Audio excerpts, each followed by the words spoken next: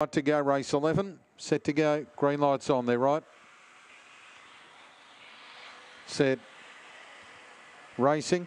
And Demon slow to go and cop the check and winning the start as Magic Lies over Call Me John and going up Hollywood Frankie on the rail Demon S followed wide out by Perfect Treasure and they're followed by My Boy Harvey, Tintang Kabang and Alfie Abalone. Up to the turn, Magic Lies in front from Call Me John. Hollywood Frankie running on strongly. Magic Lies turned in front. Hollywood Frankie down the outside but Magic Lies is kicking strongly and goes on to win over Hollywood Frankie, Call Me John and Perfect Treasure followed by Tintang Kabang and further back would have been my boy Harvey, Alfie Abalone, Demon never came into play.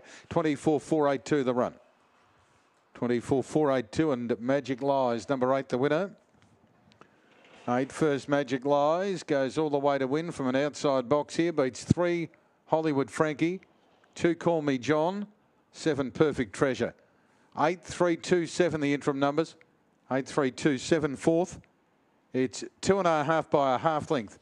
Interim numbers are 8327 at 665, 1164, 1284, and the run 24482.